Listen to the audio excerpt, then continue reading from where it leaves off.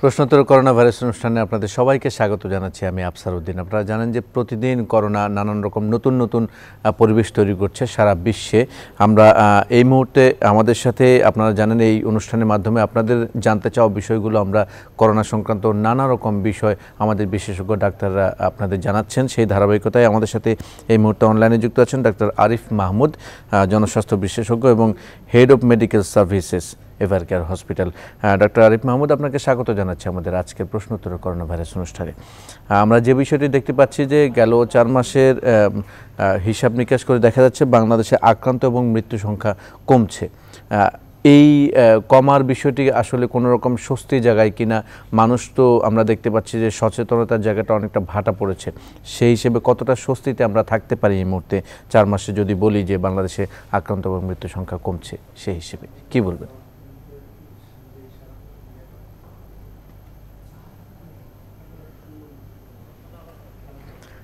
Doctor Arif Mahmud আপনি শুনতে পাচ্ছেন আমাকে?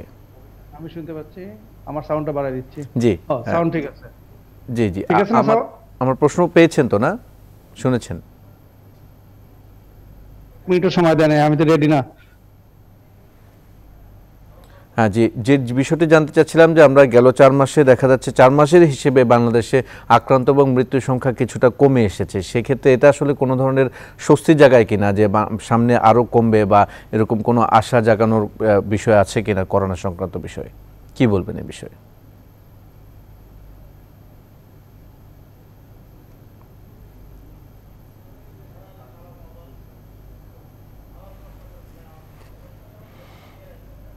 ডাক্তার আরিফ মাহমুদ আপনি কি শুনতে পাচ্ছেন আমাকে? এখন শুনতে পাচ্ছি জি জি। হ্যাঁ হ্যাঁ আমার প্রশ্নটি আপনি শুনতে পেয়েছেন? যে ওই যে এক গত চার মাসে মৃত্যু হার এবং সংক্রমণ হ্যাঁ হ্যাঁ বাংলাদেশে যদি কমে থাকে সেটা আসলে কোনো রকম স্বস্তির জায়গায় কিনা আমাদের? জি জি কোনো অসুবিধা নাই হ্যাঁ। আর কে থাকছেন আজকে? জি আমরা আমরা একদম অনুষ্ঠানে ঢুকে পড়েছি আমরা এখন অনুষ্ঠান অলরেডি শুরু হয়ে গেছে। আপনার কাছে প্রথম প্রশ্নটাই ছিল যে বাংলাদেশে আসলে সংক্রমণ এবং মৃত্যু হার কমছে সেক্ষেত্রে আসলে আমরা কিছুটা স্বস্তিতে থাকতে পারি কিনা বা এইটা এই চিত্র দেখে কি আমরা আশা করতে পারি কিনা যে সামনে আরও সংখ্যা কমবে? এই এই প্রশ্নটা আপনার কাছে ছিল। কি বলবেন এর বিষয়ে? উত্তর দিব আমি? জি জি জি আমরা অনুষ্ঠানে হ্যাঁ। আছি একদম অনেয়ার হচ্ছে আচ্ছা আচ্ছা। আচ্ছা ধন্যবাদ আপনাকে ধন্যবাদ নিউজ টোয়েন্টি ফোর কে আজকে আমাকে আমন্ত্রণ জানানোর জন্য আর দর্শকদের শুভেচ্ছা এবং জি। আলাইকুম। আপনি যেরকমটি বলছিলেন আমরা যদি দেখেন আজকে হচ্ছে অক্টোবর মাসের চার তারিখ এবং আট তারিখে আমাদের সাত মাস পূর্ণ হবে। আমাদের যে অভিজ্ঞতা এই করোনা মহামারীর সাথে প্রথম দিকে যেভাবে কেস বাড়তেছিল এবং পজিটিভিটি রেট বাড়তেছিল সেটা প্রায় তেইশ পার্সেন্ট বাইশ পার্সেন্ট আপনি জেনে থাকবেন। কিন্তু গত তিন সপ্তাহ যদি দেখি আমাদের সংক্রমণ হারটা কিন্তু কমে আসছে। কিন্তু এখনও সেটা এটা আমাদের অ্যাচিভমেন্ট করা দরকার সেটা আমরা করতে পারি। এখন যদি আমরা গত সাত দিন বা তিন সপ্তাহ যদি গড় দেখি দেখা যাচ্ছে এগারো থেকে তেরো পার্সেন্টের মধ্যে এটা নেমে আসছে যেটা বাইশ পার্সেন্ট ছিল। কিন্তু মৃত্যু আর কিন্তু কমেনি। গতকাল শুধুমাত্র মৃত্যু শুক্রবার দিন মৃত্যু সবচেয়ে কম ছিল বিশ জন কিন্তু মৃত্যু আর কিন্তু এখনও one point four four percent আছে। তার মানে এই নয় যে আমরা সংক্রমণের ঝুঁকিতে নেই আমরা কিন্তু সংক্রমণের ঝুঁকিতে আছি। আরও একটা বিষয় পক্ষান্তরে আপনি দেখে রাখবেন যেহেতু স্কুল কলেজ এবং ইউনিভার্সিটি বাদ দিয়ে সবকিছু খুলে দেওয়া হয়েছে। রাস্তাঘাট অফিস আদালত সবকিছু খুলে দেওয়া হয়েছে এবং লোকজনের যথেষ্ট ভিড় দেখা যাচ্ছে। রাস্তাঘাটে গাড়ি জ্যাম দুই ঘণ্টা তিন ঘণ্টা বসে থাকতে হচ্ছে। সেখানে একটা জিনিস আমরা দেখতেছি যে জনগণের মধ্যে একটা উদাসীনতা বা শিথিলতা তারা স্বাস্থ্যবিধিগুলি মেনে চলছেন না। যেমন মাস্ক পরছেন না হ্যান্ড হাইজিন করতেছেন না সোশ্যাল ডিস্টেন্সিং করতেছেন না এটা কিন্তু রিস্ক কিন্তু আরও বেড়ে যাচ্ছে। কারণ আপনি জানেন যে শীতকাল সামনে আসতেছে। এবং ডাব্লিউএইচও বলেছে আমরা যদি স্বাস্থ্যবিধিগুলি না মেনে চলি করোনা ভাইরাস কিন্তু দূর করা যাবে না। করোনা ভাইরাসের ক্ষেত্রে যেটা বলা হয় যে পরপর তিন সপ্তাহ যদি ফাইভ পার্সেন্টের নিচে আমাদের সংক্রমণের হার থাকে তখনই আমরা বলতে পারব যে করোনা ভাইরাসটা মানে কন্ট্রোল করা গিয়েছে। আচ্ছা। কিন্তু আমরা কিন্তু এখন পর্যন্ত সেই জায়গায় পৌঁছতে পারিনি। সেই জায়গায় পৌঁছতে হলে আমাদের অপেক্ষা করতে হবে। হয়তো আরও এক দুই মাস লাগবে আমাদের সেই জায়গায় পৌঁছতে। সুতরাং আমার যেটা মেসেজ থাকবে আপনি এই অনুষ্ঠানের মাধ্যমে দর্শকদের প্রতি যে আপনারা সব কিছু স্বাস্থ্যবিধিগুলি পুরোপুরিভাবে মেনে চলবেন যখন বাইরে যাবেন মাস্ক পরবেন হ্যান্ড হাইজিন করবেন সোশ্যাল ডিস্টেন্সিং মেনটেন করবেন ক্রাউডেড প্লেসে যাবেন না তারপর কনজেস্ট এলাকায় কাজ করবেন না। আর একটা জিনিস হচ্ছে কনফাইন্ড এলাকা যেমন cinema hall even airport flight এগুলি যত অ্যাভয়েড করা যায় তত ভালো হবে। এইভাবে আমরা করোনা ভাইরাসকে জয় করতে পারব বলে আমি মনে করি। ধন্যবাদ জি ধন্যবাদ। আপনি যে বিষয়টি বলছিলেন আসলে যে পরামর্শগুলো দিচ্ছিলেন সেগুলো আসলে বেশিরভাগ ক্ষেত্রেই যেহেতু সবকিছু খুলে দেওয়া হয়েছে কর্মস্থলের দিকে মানুষ ছুটছে এবং কর্মচাঞ্চল্য ফিরে এসেছে আগের সেই চিত্র দেখতে পাচ্ছি রাস্তাঘাটে জ্যাম থেকে শুরু করে ট্রাফিক জ্যাম থেকে শুরু করে সবকিছু কিন্তু সচল এবং আগের চিত্র হয়ে গেছে।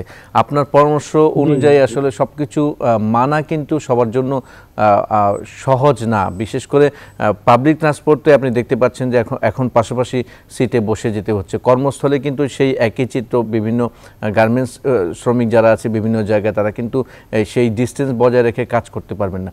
সেক্ষেত্রে তারা যদি নিজেরা স্বাস্থ্য সচেতন হন, পাশাপাশি প্রতিষ্ঠানের পক্ষ থেকে কী ধরনের উদ্যোগ থাকলে ভালো হতো স্বাস্থ্য সচেতনতায়? জি এই জিনিসটা কিন্তু এটা কিন্তু যখন আমরা কোনো এপিডেমিক সিচুয়েশন মোকাবেলা করি এটা দায়িত্ব কিন্তু শুধু সরকার বা জনগণের না এখানে সবাইকে ইনভলভ। হতে হয় প্রতিষ্ঠান ব্যক্তি তারপর ভলেন্টিয়ার সরকার বেসরকার সবাইকেই এখানে যেটা আমার বক্তব্য থাকবে যে প্রতিষ্ঠানকে এটা দায়িত্ব নিতে হবে কারণ প্রতিষ্ঠানের জন্য কিন্তু লস প্রতিষ্ঠানের যদি কোনো কর্মী অসুস্থ থাকে কেউ যদি চোদ্দ দিনের জন্য আইসোলেশনে চলে যায় বা কোয়ারেন্টাইনে চলে যায় তাহলে তার কিন্তু আউটপুট কমে যাবে। তার কিন্তু ঠিকমতো সার্ভিসটা দিতে পারবে না। সুতরাং এটা প্রতিষ্ঠানকে দায়িত্ব নিতে হবে। যেমন প্রত্যেকটা এমপ্লয়ি ঢোকার সময় প্রতিদিন একটা হেলথ চেক স্ট্যাটাস করতে হবে। প্রত্যেক সুপারভাইজার সেটা করতে পারে। যেমন একটা কর্মী বা একটা স্টাফ যখন কাজে আসবে তখন তার টেম্পারেচার চেক করা হবে তার কোনো জ্বর অথবা গলা ব্যথা সর্দি এরকম আছে কিনা কোনো ট্রাভেলের হিস্ট্রি আছে কিনা যদিও এটা এখন ইম্পর্টেন্ট নাই। তারপরে একটা মাস্ক দেওয়া যেমন মাস্কটা কিন্তু অনেক কর্মচারী যারা কম বেতন পান না আপনি জেনে রাখবেন অনেকে সাত হাজার টাকা দশ হাজার টাকা বেতন পান আমাদের ড্রাইভাররা পনেরো হাজার টাকা বেতন পায়। ওনারা তো প্রতিদিন মাস্ক কিনে ব্যবহার করতে পারবে না। এইসব যারা একটা একটা গ্রেড করা যায় কোন গ্রেড পর্যন্ত তারা নিজেরা মাস্ক প্রোভাইড করবে আর কোন গ্রেড প্রজে নিচে আসলে কর্তৃপক্ষ প্রোভাইড করবে। এভাবে করে মাস্কটা হচ্ছে দুইটা ইউনিভার্সাল প্রিকশন আমি বলব যারা কি সবকিছু মেনটেন করতে পারবে না দুইটা কিন্তু মানতেই হবে। তার মধ্যে একটা হচ্ছে মাস্ক পরিধান আর একটা হচ্ছে সোশ্যাল ডিস্টেন্সিং এই দুইটা করা কিন্তু খুব কঠিন কাজ না। এই দুটো যদি আমরা করি তাহলে নাইনটি পার্সেন্ট ক্ষেত্রে আমরা বলতে পারব যে আমরা করোনা মুক্ত থাকতে পারব। তো এই জন্য আমি বলব সবাইকেই দায়িত্ব নিতে হবে এবং প্রতিষ্ঠানকে তো আরও বেশি নিতে হবে কারণ তার স্টাফের সেফটিটা কিন্তু সবচেয়ে বড় প্রশ্ন এখানে। আরেকটা জিনিস দেখা যায় যারা এই যে কম মানে শ্রমজীবী লোকজন আছে বা গার্মেন্টসে চাকরি করেন অথবা কোনো রেস্টুরেন্টে কাজ করেন এদের থাকার জায়গাগুলি কিন্তু খুব আহ, খুব একটা। স্বচ্ছন্দ বা কনজেস্টেড থাকে একই বেডে দুইজন থাকে শেয়ারিং করে। এই জিনিসটাও যদি কোনোভাবে হেল্প করা যায় তাহলে কিন্তু আমরা এই করোনা ভাইরাস থেকে মুক্ত থাকতে পারব।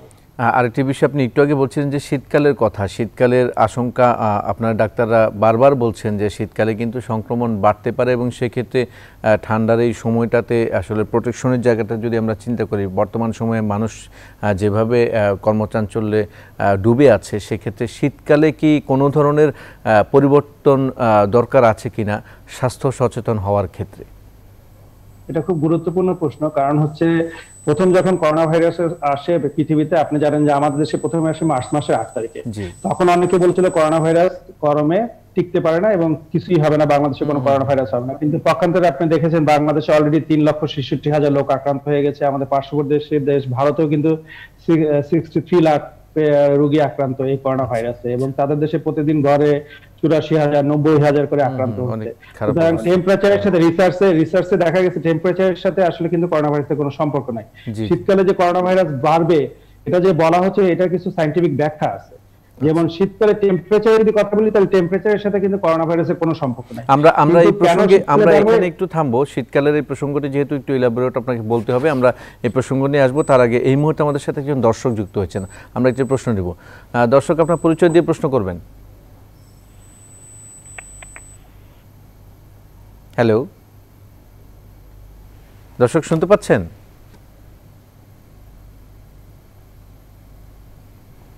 দর্শক আপ- আপনি আমাকে শুনতে পাচ্ছেন? আমার মনে হয় সংযোগটি বিচ্ছিন্ন হয়ে গেছে। আপনি আরেকবার চেষ্টা করুন।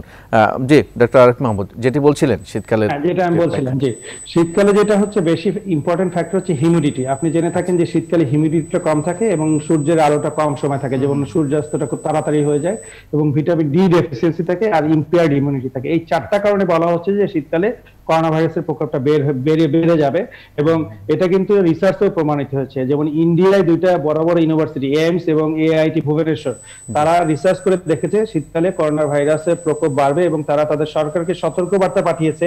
এখন যেটা এক লাখ হচ্ছে ওদের দেশে প্রতিদিন আক্রান্ত, এটা দুই লাখের বেশি আক্রান্ত সংখ্যা হয়ে যেতে পারে। আবার অস্ট্রেলিয়ার ইউনিভার্সিটি অফ সিডনি একটা রিসার্চ করেছে সেখানে ওরা বলছে যদি হিউমিডিটি ওয়ান পার্সেন্ট কমে যায় তাহলে সিক্স পার্সেন্টের চান্স বেশি হয়ে যাবে করোনা সংক্রমণের জি। এবং লন্ডন থেকে যে রিসার্চটা প্রকাশিত হচ্ছে ওখানেও দেখা যাচ্ছে যে লন্ডনে কিন্তু এখন সেকেন্ড ওয়েভ দেখা দিয়েছে অলরেডি তাতে হসপিটালে করোনা রোগীর সংখ্যা বেড়ে যাবে। আরেকটা যেটা সংখ্যা আপনি জেনে থাকবেন যে শীতকালে আমাদের দেশে প্রচুর অ্যাজমা সিওপিডি ফ্লু তারপরে অ্যালার্জি জাতীয় রোগী বেড়ে রোগ বেড়ে যায় এবং করোনা ভাইরাসের সিমটম গুলি একই রকম। সুতরাং এইসব মিলে পরিস্থিতি আরও জটিল হয়ে যেতে পারে। সুতরাং আমার যেটা মেসেজ থাকবে দর্শকদের প্রতি আপনারা শীতকালে সবাই স্বাস্থ্য সচেতন হবেন। এবং যাদের এই ধরনের ক্রনিক ডিজিজ আছে যেমন অ্যাজমা সিওপিডি তারা একটু আগে ভাগে ডাক্তার দেখিয়ে তাদের চিকিৎসা প্রণালীটা ঠিক করে নেবেন কি খাবার খেতে হবে কীভাবে ইনহেলার ইউজ করতে হবে। জি হ্যাঁ, ধন্যবাদ। জীবন- ধন্যবাদ ডক্টর আরিফ মাহমুদ। আমাদের সাথে আরও কিছু টপিক আছে আলোচনার জন্য আমরা এই মুহূর্তে ছোট্ট একটি বিরতি নেব। বিরতি থেকে ফিরে এসে বাকি আলোচনাগুলো করব। দর্শক প্রশ্নোত্তর করোনা ভাইরাস অনুষ্ঠানে নিচ্ছি ছোট্ট করে বিরতি সাথেই থাকুন। বিরতির পর আবারও স্বাগত প্রশ্নোত্তর করোনা ভাইরাস অনুষ্ঠানে। আমাদের সাথে ডক্টর আরিফ মাহমুদ আছেন, জনস্বাস্থ্য বিশেষজ্ঞ এবং head of medical services Evercare hospital doctor Arif Mahmud, আপনি বিরতিতে যাবার আগেও বলছিলেন যে আসলে গবেষণার বিষয়ে বিভিন্ন দেশে কিন্তু গবেষণা করে নানা রকম তথ্যপত্র পাওয়া যাচ্ছে। দেশের কান্ট্রি টু কান্ট্রি তো বিষয়গুলো ভ্যারি করে। বাংলাদেশের প্রেক্ষাপট অনুযায়ী যদি গবেষণার বিষয়ে জানতে চাই সেক্ষেত্রে বাংলাদেশে আসলে করোনা ভাইরাসটি আপনারা বলছিলেন যে বারবারতে সে তার রূপ পরিবর্তন করছে এবং রূপ পরিবর্তন করে মানুষের শরীরে অবস্থান করার মতো সে সে কোনো একটি রূপে থাকছে। সে বিষয়টি সম্পর্কে যদি কিছু স্পষ্ট করে বলতেন আসলে কীভাবে করোনা ভাইরাসটি রূপ পরিবর্তন করে বাংলাদেশের মানুষের মাঝে ছড়িয়ে পড়ছে। ধন্যবাদ আপনাকে। এটা খুব গুরুত্বপূর্ণ প্রশ্ন, কারণ আপনারা জেনে থাকবেন যে করোনা ভাইরাসটি একটা নোভেল ভাইরাস এবং এটা একটা নতুন ভাইরাস। এটা নিয়ে কিন্তু বিশ্বে এই গত নয় মাস ধরে প্রতিদিনই রিসার্চ গবেষণা হচ্ছে এবং আপনি যেরকমটি বলছিলেন এটা রূপ পরিবর্তন হচ্ছে এটা ট্রিটমেন্ট প্রোটোকল পরিবর্তন হচ্ছে। আমরা কিন্তু গবেষণা দিয়ে এখন পর্যন্ত এটা কোনো স্পেসিফিক ট্রিটমেন্ট বের করতে পারি আচ্ছা আচ্ছা। প্রথম দিকে বলা হয়েছিল হাইড্রোক্লোরোক্সিন খেলে এটা ভালো হয়ে যায়। সেটা কিন্তু প্রমাণিত হয়নি। তারপর আইভারমেকটিন গেল ডক্সিসাইক্লিন গেল এখন রেমডেসিভির এবং টক্সিলিজমেব যে আমরা দিচ্ছি। এই দুটোরও কোনো এফেক্টিভনেস পাওয়া যায়নি রিসার্চে শুধুমাত্র একটা ওষুধ এখন পর্যন্ত রিসার্চ দ্বারা প্রমাণিত হয়েছে যেটা রিকমেন্ডেড সেটা হচ্ছে ডেক্সামেথোসেন এবং এই ডেক্সামেথোসেনটা দিতে হয় হসপিটাল সেটিং এ। তো সুতরাং আমরা কিন্তু নতুন নতুন ভাবেই জানছি প্রতিদিন। এবং বাংলাদেশ আপনি জেনে থাকবেন যে আমরা রিসার্চের ক্ষেত্রে অনেক পিছিয়ে আছি। বিশ্বে যেমন সব দেশে এই নয় মাসের যে অভিজ্ঞতা সেখান থেকে তারা রিসার্চ করতেছে জেনোম সিকোয়েন্সিং করতেছে বিভিন্ন ধরনের স্টাডি করতেছে করে তারা একটা কনক্লুসিভ আইডিয়া দিচ্ছে জনগণকে যাতে এই করোনা ভাইরাস থেকে আমরা মুক্তি পেতে পারি। কিন্তু দুর্ভাগ্যজনক ভাবে হলো সত্যি আমাদের দেশে রিসার্চের পরিমাণটা খুবই কম। একটা যেটা রিসার্চ হয়েছে আইডিসিআর করেছিল আগস্ট মাসে সেখানে বলা হয়েছিল ঢাকা শহরে প্রায় নয় পার্সেন্ট লোক করোনা ভাইরাসে আক্রান্ত তাতে হচ্ছে যদি দুই কোটি লোক হয় তাহলে আঠারো লক্ষ লোক আক্রান্ত। এবং আরেকটা তথ্য তারা দিয়েছিল যে ইসলামেও আগে যেটা ধারণা করা হতো বা আমাদের এখনও প্রশ্ন করা হয় যে গরিব লোকে করোনা ভাইরাস হয় না তারপর বস্তিতে করোনা ভাইরাস হয় না কিন্তু সেটা কিন্তু সঠিক নয়। কারণ গরিবদের বেশি ইমিউনিটি থাকে এরকমটা ভাবার কোনো কারণ নাই। করোনা ভাইরাস যে কারও হতে পারে এবং সেই স্টাডিতে দেখা যাচ্ছে ছয় পার্সেন্ট লোক যারা আমাদের ইসলামে থাকে তাদের ছয় পার্সেন্ট লোক করোনা আক্রান্ত। এখন আমাদের দেশে যেটা সমস্যা হচ্ছে আমরা কিন্তু টেস্টের সংখ্যা অনেক কম। আপনি দেখে থাকবেন আমরা কিন্তু এখন দশ হাজারে নেমে আসছি আমাদের ডাব্লিউএইচও তথ্য অনুযায়ী আমাদের দেশে যেখানে টেস্ট হওয়া দরকার প্রতিদিন গড়ে তিরিশ হাজার থেকে পঞ্চাশ হাজার সেখানে কিন্তু আমরা দশ হাজার টেস্ট করতেছি। কিন্তু আবার পক্ষান্তরে দেখেন টেস্টের পরীক্ষা যে ল্যাবরেটরি সেগুলো কিন্তু একশো ছয়টা এখন। কিন্তু একশো ছয়টা হওয়ার পরও আমরা কিন্তু বেশি টেস্ট করতে পারতেছি না। আর বস্তিতে যদি টেস্ট করতে হয় তাহলে যেটা দরকার সেটা হচ্ছে র্যাপিড অ্যান্টিজেন টেস্ট যেটা কিন্তু ডাব্লিউএইচও অ্যাপ্রুভ করেছে ইমার্জেন্সি সিচুয়েশনে আমাদের পার্শ্ববর্তী দেশ ভারতে হচ্ছে ইংল্যান্ডে হচ্ছে কিন্তু আমাদের দেশের সরকার অনুমতি দিয়েছে কিন্তু এটা এখনও কার্যকরী হয়নি। এই টেস্টের সুবিধাটা যে কি যে আপনি কে বলতে চাই যে বিশ মিনিটের মধ্যে আপনি রেজাল্ট পেয়ে যাবেন। যখন কোনো রুগী আসবে আপনার হসপিটালে অথবা যখন আপনি কমিউনিটিতে কোনো সার্ভে করতে যাবেন তখন যদি আপনি বিশ মিনিটের মধ্যে রিপোর্ট পেয়ে যান তাহলে আপনি কিন্তু সহজেই আলাদা করে ফেলতে পারবেন। যারা করোনা তারা আইসোলেশনে চলে যাবে আর যারা করোনা তারা সুস্থ জীবন যাপন করবে অথবা চিকিৎসা লাগলে তারা নন করোনা চিকিৎসা নিবে। তো এই বেনিফিট গুলি থেকে আমরা বঞ্চিত হচ্ছে যেহেতু আমাদের দেশে রিসার্চ কম হয়। আরেকটা আমাদের দেশে একটা রিসার্চ হয়েছে আপনি জেনে থাকবেন জেনোম সিকোয়েন্সের উপরে যেটা বিসি বিসিএসআইআর বলে বাংলাদেশ শিল্প এবং বিজ্ঞান গবেষণা কেন্দ্র। ওখানে যে রিসার্চ করেছে, তারা প্রায় তিনশো তেষট্টিটা জেনোম সিকোয়েন্স করেছে এবং সেখানে দেখা গেছে বাংলাদেশে যে করোনা ভাইরাসটি দেখা যাচ্ছে, তার যে স্ট্রেন সেটা সবচেয়ে মিউটেশন বেশি হচ্ছে, বারো দশমিক ছয় পার্সেন্ট যেখানে অন্যান্য দেশের এই যে করোনা ভাইরাসের মিউটেশন রেট হচ্ছে সেভেন পয়েন্ট সিক্স সেখানে আমাদের দেশেরটা হচ্ছে সবচেয়ে বিশ্বের মধ্যে সবচেয়ে বেশি মিউটেশন হয়। কিন্তু বেশি মিউটেশন হলে যে খারাপ তা না। আমাদের দেশে আবার সংক্রমণের লক্ষণগুলি কিন্তু কম। আমাদের দেশে আপনি জেনে থাকবেন অনেক রোগীর সিমটম দেখা যাচ্ছে না বা এইটি পার্সেন্ট রোগের সিমটম হয় না। সুতরাং এটা ভিরুলেন্সটা অনেক কম। আমাদের দেশে ভাইরাসটা ভিরুলেন্সটা কম। আবার আমি আর একটা তথ্য দিতে চাই। প্রথম দিকে যারা বলতো যে অনেকেই বলতো আমরা গবেষণারাও গবেষণাগাররাও বলেছি যে করোনা ভাইরাস যদি একবার হয় সেকেন্ড টাইম হয় না। কিন্তু এই এই তথ্যটা আর এখনও সত্যি নাই। আপনি জেনে থাকবেন বিশ্বে এখন পর্যন্ত প্রায় দশ জনের বেশি মানুষের গায়ে করোনা ভাইরাসের সংক্রমণ সেকেন্ড টাইম দেখা দিয়েছে যেটাকে বলা হয় রি ইনফেকশন তার মধ্যে লেটেস্ট যে জার্নালে ল্যান্সেটে প্রকাশিত হয়েছে ভারতের মুম্বাইয়ে, চারজনের শরীরে রিইনফেকশন দেখা দিয়েছে। তার মধ্যে তিনজনই ডাক্তার এবং একজন নার্স এবং তাদের যে সেকেন্ড টাইম ইনফেকশন হলো, তাদের কিন্তু সেকেন্ড টাইমের ইনফেকশনের যে হারটা এটা খুব বেশি ছিল এবং সংক্রমণের মাত্রাটাও বেশি ছিল এবং তাদেরকে হসপিটালে ভর্তি হতে হয়েছে। কিন্তু প্রথম যখন তাদের করোনা ভাইরাস ছিল তখন তারা অ্যাসিমটোমেটিক ছিল তারা বাসায় ছিল। সুতরাং এটা বলা যাবে না যে করোনা ভাইরাসের সংক্রমণের মাত্রাটা কমে আসছে। সুতরাং বিভিন্ন দেশে বিভিন্ন ধরনের প্রজাতি দেখা যাচ্ছে। সুতরাং আমাদেরকে সতর্ক থাকতে হবে এবং সবচেয়ে বড় কথা যেটা হচ্ছে ভারতের সাথে আমাদের কিন্তু চারিদিক দিয়ে বর্ডার। একমাত্র যদি বঙ্গোপসাগর বাদ দেন আর বার্মা চারিদিকে কিন্তু ভারত ঘিরে আছে। এবং ভারতের সাথে। হ্যাঁ ঘিরে আছে। এবং ভারতের সাথে আমাদের স্থলপথে ব্যবসা বাণিজ্য চলতেছে নৌপথে চলতেছে অনলি আকাশপথটা বন্ধ আছে। সুতরাং যে কোনো সময় ভারত থেকে আমাদের দেশে আরও সংক্রমণ ঢুকে যেতে পারে। সুতরাং আমাদের এখানে অনেক সতর্কমূলক ব্যবস্থা নিতে হবে। আর শীতকালের জন্য আমাদের প্রস্তুতি নিতে হবে যাতে আমরা আরেকটি বিষয় একটু জানতে চাই যে মূলত আমরা দেখেছি যে শত শত বছর ধরে কিন্তু এরকম ভাইরাসের আগমন হয় নতুন নতুন ভাইরাস অ্যাটাক করে। একটা মহামারী হয় একটা গবেষণা গবেষণালব্ধ তথ্যই কিন্তু বলে যে প্রতি একশো বছর পর একটা বড় মহামারী হতে পারে। সেই সেই ভাইরাসগুলোর সাথে যদি তুলনা করা হয় করোনা ভাইরাসের এমন কি বৈশিষ্ট্য আছে যেটা অন্য ভাইরাস থেকে আলাদা করেছে যে বৈশিষ্ট্যের কারণে করোনা একদম নতুন একটি রূপ নিয়েছে। কি বলবেন এই বিষয়ে? জি খুব গুরুত্বপূর্ণ প্রশ্ন। আপনি যেরকমটি বলছিলেন সাধারণত একটা মহামারী সাধারণত একশো বছর পরে দেখা দেয়। বিশ্বের যতগুলি মহামারী দেখা দিয়েছে তার মধ্যে সবচেয়ে ভয়ঙ্কর ছিল উনিশশো আঠারো সালে যে মহামারীটা হয়েছিল সোয়া ইটা সেটা হচ্ছে উনিশশো আঠারো সালে হচ্ছে মহামারীর নামটা হচ্ছে না সার্সের এইচ এইচ নাইন ওয়ানের আগে। সেটাকে বলা হয় প্লেগ আচ্ছা হ্যাঁ, হয়েছিল এবং সেই সময় না সরি সোয়াইন ফ্লু এবং সেটা কিন্তু সারা বিশ্বে ছড়িয়ে পড়েছিল এবং দুই বছরে সেখানে দেখা গেছে পাঁচ কোটি লোক মারা গিয়েছে। এবং সেই মহামারীতে এবং তিনটা ওয়েভ ছিল হ্যাঁ মহামারীতে কিন্তু ওই যে ফার্স্ট ওয়েভ সেকেন্ড ওয়েভ এবং থার্ড ওয়েভ আচ্ছা। ছিল এবং সেখানে দেখা গিয়েছিল যে সেকেন্ড ওয়েভে কিন্তু বেশি লোক মারা গিয়েছিল। এবং একই রকম ভাবে দুই হাজার নয় সালে যখন এইচ ওয়ান নাইন ওয়ান যখন আমাদের আহ, মহামারী দেখা দিল তখন দুই বছর এক বছর ছিল এই মহামারীটা এবং এই এক বছরে প্রায় দুই লক্ষ চুরাশি হাজার লোক মারা গিয়েছিল। তাই সুতরাং সেকেন্ড ওয়েভে কিন্তু বেশি মারা যায়। করোনা ভাইরাসের বৈশিষ্ট্য হচ্ছে এখন কিন্তু আপনি জেনে থাকবেন বিশ্বের ইউরোপিয়ান কান্ট্রিগুলিতে আবার সেকেন্ড ওয়েভ দেখা দিয়েছে।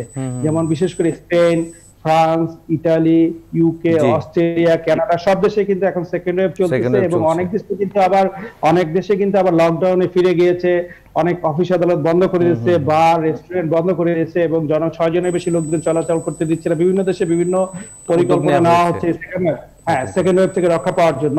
কিন্তু বিশেষ বৈশিষ্ট্য যেটা হচ্ছে এখানে এই সরি স্প্যানিশ ফ্লু সেই যে মহামারীটা হ্যাঁ, ছিল স্প্যানিশ ফ্লু আমি দুঃখিত যে রং তথ্য দেওয়ার জন্য হ্যাঁ, পাঁচ কোটি লোক মারা গিয়েছিল স্প্যানিশ ফ্লুতে। জি জি জি হ্যাঁ। স্প্যানিশ ফ্লু আর করোনার সাথে সবচেয়ে বেশি পার্থক্য যেটা হচ্ছে তখন কিন্তু পাঁচ কোটি লোক মারা গিয়েছিল। কিন্তু এখন আমাদের বেশি এখন মধ্যে দশ লাখ লোক মারা গিয়েছে। কিন্তু যেটা তখনকার তখনকার সময় আসলে চিকিৎসা ব্যবস্থার সাথে তুলনা করে আচ্ছা সেটাই আমি বলতে চাচ্ছি অনেক এই। একশো বছরে কিন্তু আমাদের চিকিৎসা ব্যবস্থা অনেক উন্নত হয়েছে। এই চিকিৎসা ব্যবস্থা উন্নত হওয়ার ফলে কিন্তু এই করোনা ভাইরাসে কিন্তু লোকজন সবচেয়ে কম মারা গিয়েছে। যেখানে বিশ্বে। এখন পর্যন্ত দশ লাখ মুখ মারা গিয়েছে। কিন্তু আমরা আমরা এই মুহূর্তে ছোট্ট করে একটা বিরতি নিব। বিরতি থেকে ফিরে এসে আরও দুই একটা প্রসঙ্গ আছে আলোচনা করব। দর্শক প্রশ্নোত্তর করোনা ভাইরাস অনুষ্ঠান নিচ্ছি আরও একটি বিরতি। সাথেই থাকুন। প্রশ্নোত্তরের করোনা ভাইরাস অনুষ্ঠানে আরেকবার স্বাগত জানাচ্ছি বিরতির পর আমাদের সাথে ডাক্তার আরিফ মাহমুদ আছেন।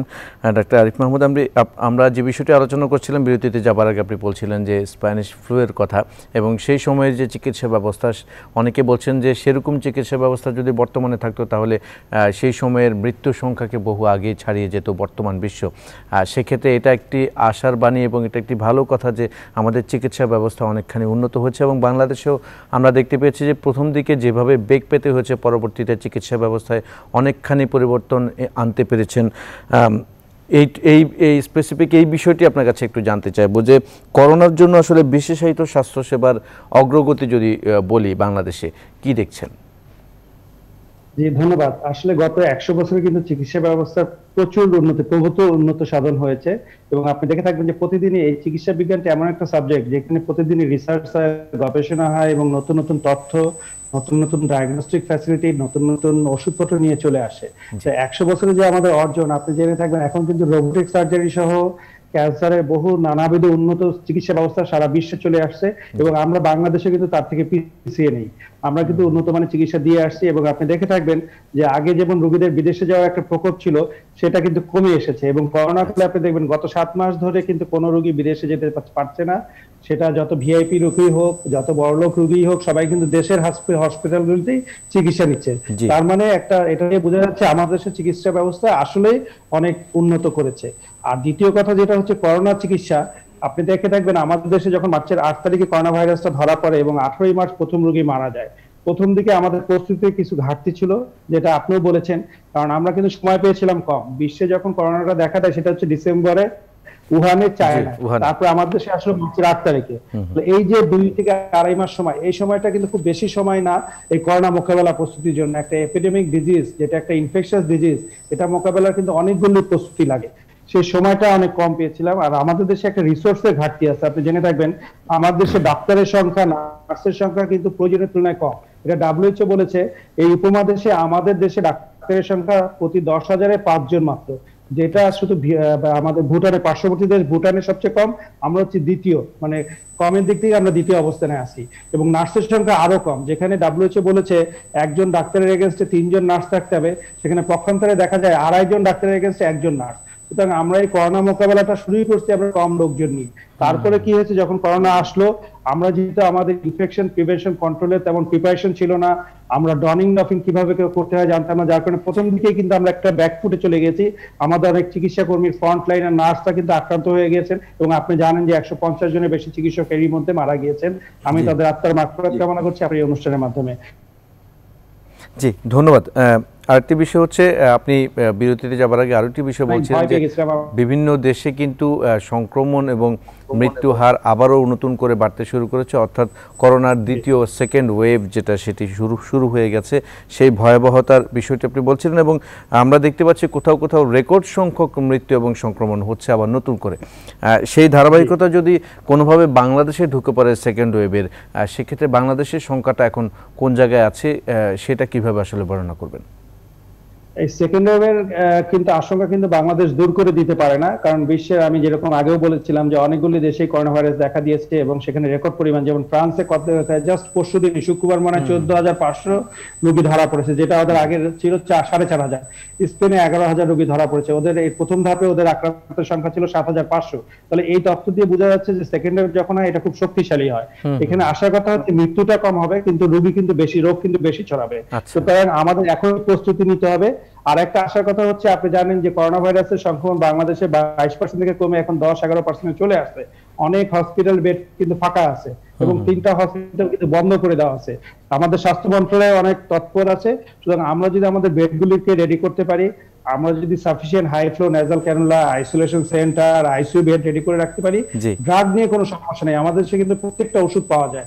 Injection remdesivir tocilizumab plasma dexamethasone প্রত্যেকটা ড্রাগই আমাদের দেশে অ্যাভেলেবল আছে। সুতরাং আমাদের যেটা দরকার জনগণকে সচেতন করা জনগণকে সম্পৃক্ত করা আর হসপিটালকে তৈরি করা। যেমন এত একই হসপিটাল এখন যেটা হবে এখন তো অনেক রুগী বের হয়ে আসছে নন করোনা রুগীরাও আসতেছে। কারণ যাদের হার্টের প্রবলেম কিডনি প্রবলেম ডায়াবেটিস তারা তো বাসায় বসে থাকতে পারে ছয় মাস বসে- বসে থেকে তাদের রোগ আরও বেড়ে গিয়েছে। প্রত্যেকটা প্রত্যেকটা হসপিটালকে দুই ভাবে প্রস্তুতি নিতে হবে। আমি এখানে একটু ফোকাস করতে চাই যে প্রত্যেকটা হসপিটাল করোনা এবং নন করোনা দুইটা ইউনিট খুলতে হবে এবং দুই ভাবে তাদের ম্যানেজমেন্ট প্ল্যান করতে হবে এবং করোনা ইউনিটের জন্য জানেন ইনফেকশন কন্ট্রোলটা খুবই জরুরি। সুতরাং তাদের রেড জোনে কীভাবে কোন স্টাফরা ডিউটি করবে কোন পথে তারা সিটি স্ক্যান করতে নিয়ে যাবে রোগী ডিসচার্জ কীভাবে হবে অ্যাটেন্ডেন্ট থাকতে পারবে কিনা এই জিনিসগুলি এখনই ঠিক করে নিতে হবে। নাহলে কিন্তু সেকেন্ড ওয়েভে আমাদের দেশ বেসামাল হয়ে পড়তে পারে। তা আমি সবাইকে ধৈর্য ধরে এই পরিস্থিতি মোকাবেলা করতে পারব মোকাবেলা করতে বলব। আর আরেকটা আশা কথা আপনি জানেন যে সারা বিশ্ব তাকিয়ে আছে একটা ভ্যাকসিনের দিকে। অনেকে মনে করছে ভ্যাকসিনই দিবে সমাধান করোনা ভাইরাস থেকে কিন্তু আসলে কিন্তু বিষয়টা এরকম না। ভ্যাকসিন আস্তে আস্তে আগামী বছর জুন জুলাই হয়ে যাবে এবং সবাই কিন্তু ভ্যাকসিন একবারে পাবে না। প্রথম পাবে স্বাস্থ্যকর্মীরা সেখানে তিন পার্সেন্ট লোক ভ্যাকসিন পাবে। তারপরে পাবে বিশ পার্সেন্ট লোক যারা প্রায়োরিটি লিস্ট করতে হবে, যারা বৃদ্ধ বয়স, ষাটের বেশি বয়স, যাদের হাইপারটেনশন আছে, যাদের ডায়াবেটিস আছে, যাদের সিওপিডি বা ক্যান্সার আছে, এরকম। বিশ পার্সেন্ট লোক দিয়ে কিন্তু আমরা মোকাবেলা করতে পারব না। অনেক লোক এই ভ্যাকসিনের আওতার বাইরে থেকে যাবে। এই জন্য কিন্তু ডাব্লিউএইচও প্রধান বলেছে, আমাদের দুই হাজার বাইশ সালের শেষ নাগাদ পর্যন্ত সবাইকে স্বাস্থ্যবিধিগুলি মেনে চলতে হবে। তাহলেই আমরা করোনা ভাইরাস মোকাবেলা করতে পারব বলে আমি মনে করি। জি ধন্যবাদ।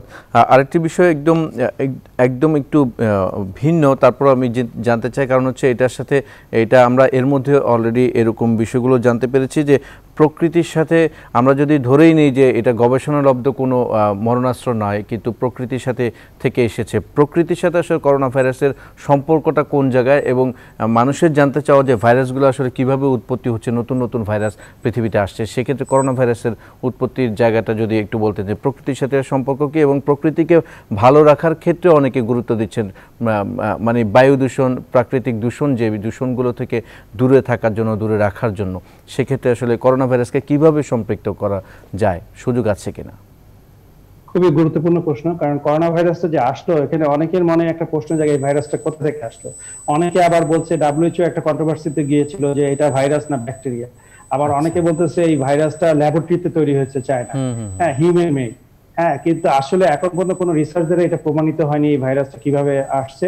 তা আমরা যারা জন জনস্বাস্থ্য বিশ্বকে আছি এবং আমরা যারা চিকিৎসা বিজ্ঞানে কাজ করি আমাদের কাছে মনে হচ্ছে এই ভাইরাসটা কিন্তু ন্যাচারাল ভাইরাস প্রকৃতি থেকেই আসছে। সুতরাং প্রকৃতিকে যেটা যেভাবে ন্যাচারাল মানে যে বায়ু দূষণ আপনি যেটা বললেন অথবা যে আমরা যে নগরায়ন করি গাছপালা কেটে ফেলে এগুলি আসলে উচিত না। কারণ এগুলি কিন্তু আমাদের প্রকৃতিকে আমাদের সতেজ রাখে এবং আমরা যে অক্সিজেন পাই প্রকৃতি থেকে সেই জিনিসটাকে ই রাখে। আপনি দেখে রাখবেন যখন লকডাউন ছিল তখন আমাদের ঢাকা শহর কত সুন্দর হয়ে গিয়েছিল এবং আমরা নিশ্চিন্তে শ্বাস প্রশ্বাস নিতে পারতাম। পুরো বাংলাদেশের প্রকৃতির একটা পরিবর্তন আমরা দেখেছি হ্যাঁ। তখন।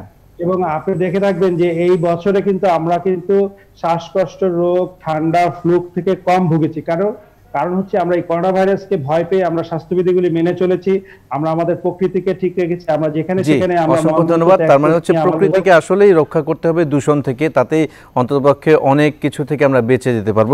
অসংখ্য ধন্যবাদ ডক্টর আরিফ মাহমুদ আমাদের আজকের প্রশ্নোত্তরের করোনা ভাইরাস অনুষ্ঠানে সময় দেওয়ার জন্য। সেই সাথে দর্শক আপনাদেরও ধন্যবাদ জানাচ্ছি আমাদের সাথে থাকার জন্য। পরবর্তী পর্ব দেখার আমন্ত্রণ রইল। সবাই ভালো থাকবেন সুস্থ থাকবেন। ধন্যবাদ সবাইকে।